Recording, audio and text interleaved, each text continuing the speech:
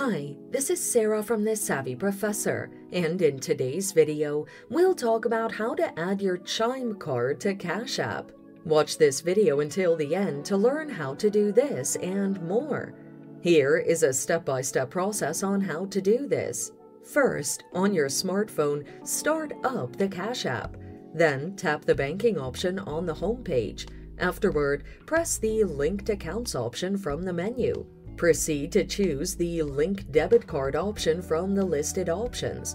Hit the New Card button, then press the Continue option. From the provided options, select Chime. Alternatively, utilize the search bar.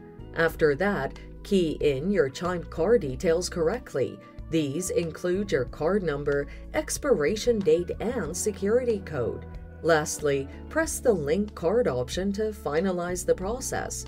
Once done, you will get a confirmation message indicating your Chime card has been successfully linked to your Cash App.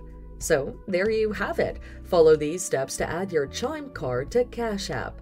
Thanks for watching. Till next time.